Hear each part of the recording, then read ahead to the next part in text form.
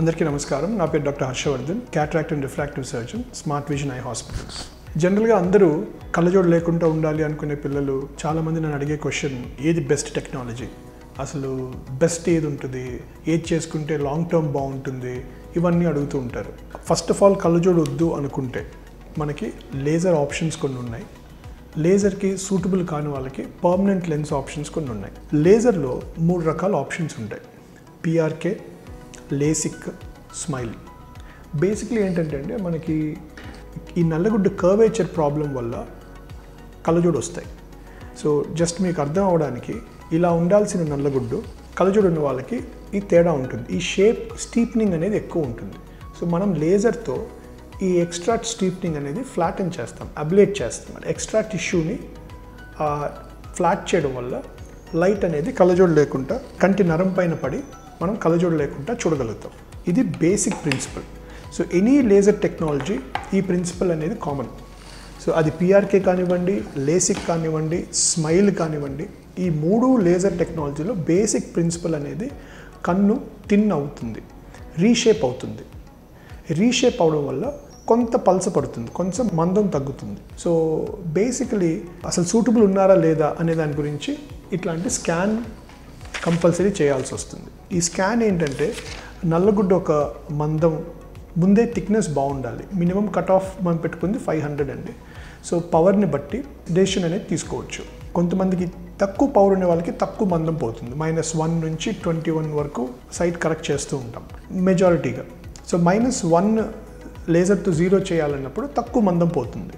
Two అంటే ఇంకొంచెం ఎక్కువ మందం పోతుంది. అలాగే ఫైవ్ అంటే మైనస్ ఫైవ్ని కరెక్ట్ చేయాలంటే కూడా ఇంకొంచెం ఎక్కువ డీప్గా మందం పోతుంది. సో ఎంత హై పవర్ ఉంటే అంత మందం పోతుంది.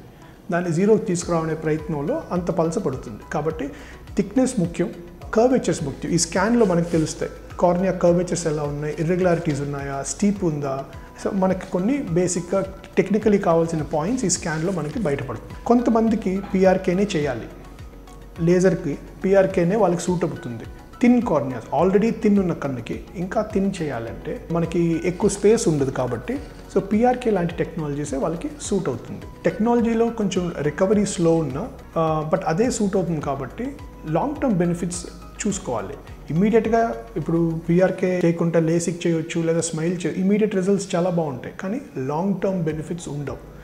కొన్ని కాంప్లికేషన్స్ రావచ్చు కాబట్టి డెసిషన్ మేకింగ్ ఇక్కడ చాలా ఇంపార్టెంట్ మీకు ఏ టెక్నాలజీ సూట్ అవుతుంది అనేది డాక్టరే డిసైడ్ చేసుకుంటే దాన్ని బట్టి మీకు లాంగ్ టర్మ్ అనేది బెనిఫిట్స్ ఉంటాయి.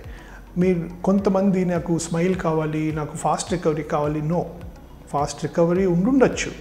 కానీ లాంగ్ టర్మ్లో మీకు మంచి కోసమే we decide what suits you the best so కొన్ని కొన్ని డాక్టర్కి ట్రస్ట్ చేసి ముందుకెళ్ళాలి. డిఫరెన్స్ ఆఫ్ ఒపీనియన్ ఉండొచ్చు. చాలామంది నా దగ్గరకు వచ్చి సార్ మీరేమో పిఆర్కే అన్నారు అక్కడేమో స్మైల్ అంటున్నారంటే ఉండుండొచ్చు.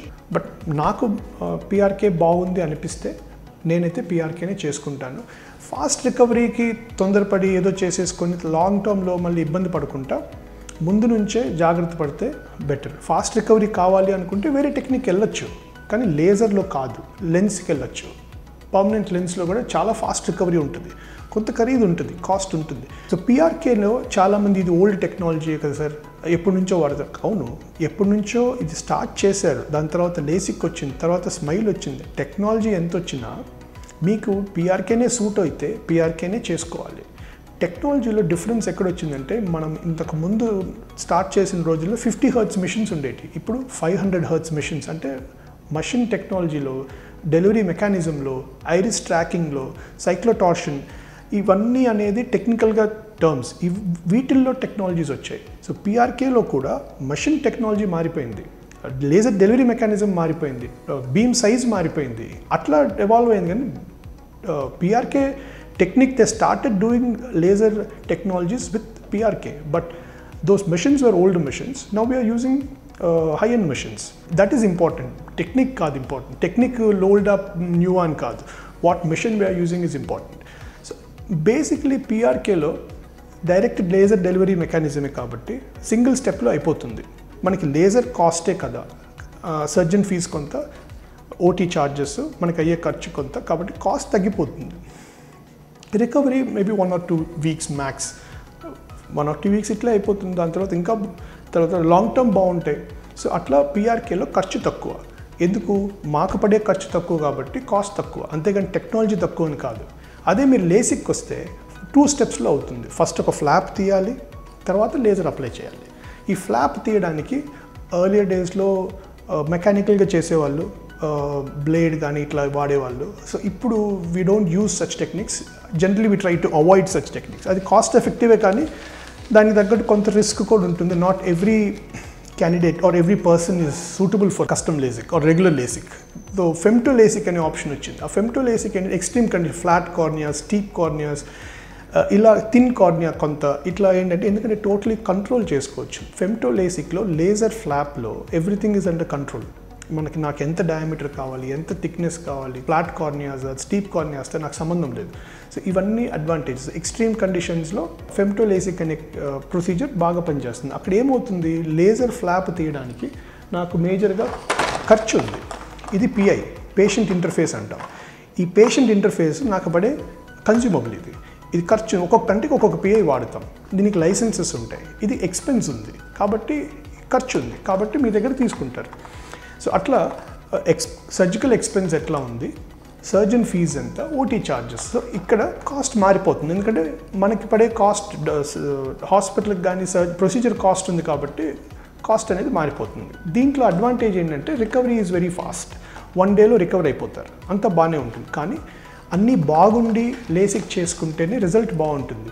Inferior steepening irregular for example ఈ స్కాన్ ఉందనుకోండి. This is a very neat scan clean scan thickness బాగుంది ఇర్రెగ్యులారిటీస్ లేవు అన్నీ బాగున్నాయి కాబట్టి ఇది ఫెమ్టోలేసిక్ కాదు పిఆర్కే కాదు అన్నీ చేసుకోవచ్చు. అదే మీరు ఈ స్కాన్లో చూస్తే ఇన్ఫీరియర్ స్టీపెనింగ్స్ ఉన్నాయి. ఈ ఇన్ఫీరియర్ స్టీపనింగ్స్ అట్లా ఉన్నప్పుడు లేసిక్ లాంటి టెక్నిక్స్ అవాయిడ్ చేసుకోవాలి. పిఆర్కేనే వీటికి వీళ్ళకి లాంగ్ టర్మ్ బెనిఫిట్ ఇస్తుంది లేసిక్ కంటే కూడా. సో ఇట్లాగా ఇర్రెగ్యులర్ కార్నియాస్ కానీ ఇలా ఉన్నప్పుడు లేసిక్ అవాయిడ్ చేసుకుంటే బెటర్. అడ్వాన్స్ టెక్నాలజీ అయినప్పటికీ it if it doesn't suit it doesn't suit similarly SMILE స్మైల్కి కూడా laser femto LASIK delivery mechanism PI ద్వారానే డెలివరీ అవుతుంది. ఆ పిఐ మేజర్గా ఎక్స్పెన్స్ ఉంటుంది. కాబట్టి అండ్ మోర్ ఓవర్ స్మైల్ లాంటి టెక్నాలజీస్కి there's only no competitor this only one manufacturer కాబట్టి వాళ్ళకి and these PIs are dollar value interlinked ఉంటాయి. సో కాస్ట్ ఉంటుంది. There's a cost involved in the procedure కాబట్టి it's a expensive technology nothing not that it's the best that there is an exclusion criteria for SMILE as well SMILE కూడా suitable కారణాలు చాలా చాలామంది ఉంటారు. So that doesn't mean is the best it's the it's an advance technology and latest development అట్లా అని స్మైల్కి suit అయితేనే స్మైల్కి చేసుకోవాలి. అందరికీ స్మైల్ సూట్ అవ్వదు. So just sum sum up అండి పిఆర్కేకి సూట్ అయితే పీఆర్కే బాగుంటుంది. లేసిక్ సూట్ అయితే పిఆర్కే కూడా లిమిటేషన్స్ ఉంటాయి హై నెంబర్స్ పిఆర్కే బాగా పనిచేయదు హే హేజ్ రావచ్చు long number so we need to know where to stop minus five లోపు ఉన్న పవర్స్కి కొంచెం ఇర్రెగ్యులర్ అటు ఇటు ఉన్న thin కార్నియాస్కి PRK suits better cost effective technology because there is no recurrent cost involved in the procedure. LASIK suits good for uh, up to mine. I I prefer till 6.5 to 7.